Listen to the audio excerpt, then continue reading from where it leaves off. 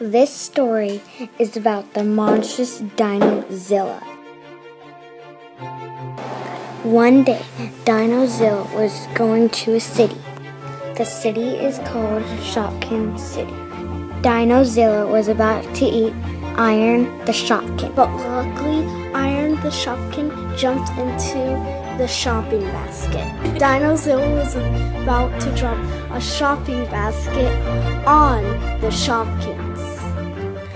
But some Shopkins in a car went under before it hit the Shopkins and they were saved. And Dinozilla walked over and put Popsy in his mouth.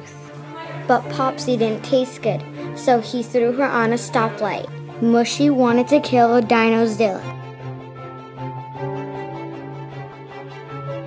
Mushy the mushroom shopkin went on to Dinozilla and shot poison into him. Mushy killed Dinozilla and all the shopkins were surrounding the Dinozilla. And that was our story about the monstrous Dinozilla.